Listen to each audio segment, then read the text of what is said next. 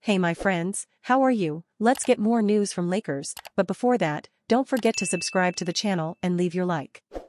LeBron James issues three-word message on latest injury after loss to Nuggets. LeBron James went down with a scary-looking ankle injury during the fourth quarter of the Los Angeles Lakers Game 2 loss to the Denver Nuggets, but he doesn't expect to miss any time. Late in the fourth quarter, James went up for a rebound but came down awkwardly, falling to the court. He sat on the defensive end as the Lakers played 4 on 5, which finished with Austin Reaves banking in a clutch three-pointer. James eventually got back up and finished the game but the worries remained about his ankle.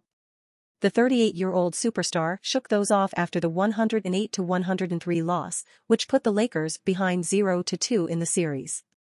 I'll be fine, James told reporters in his post-game press conference. James also spoke to ESPN's Dave McMenamin about his banged-up ankle but stressed that he wouldn't be missing the crucial Game 3 at home in Los Angeles. They're still there, James said of his ankles. A little ankle isn't going to stop me. James was already playing through injury. He missed 13 straight games with a foot injury but decided to gut it out for a playoff run. James said he has a torn tendon in his right foot and that multiple doctors recommended season-ending surgery. He hasn't ruled out having surgery in the offseason. I don't know. Right now, I don't need it, so we'll see what happens, James said in March. I'll probably get another MRI at the end of the season and go from there.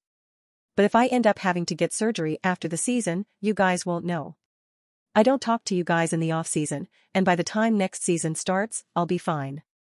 I'll be ready to go. Dear fans, what do you think of this news? Leave your opinion in the comments.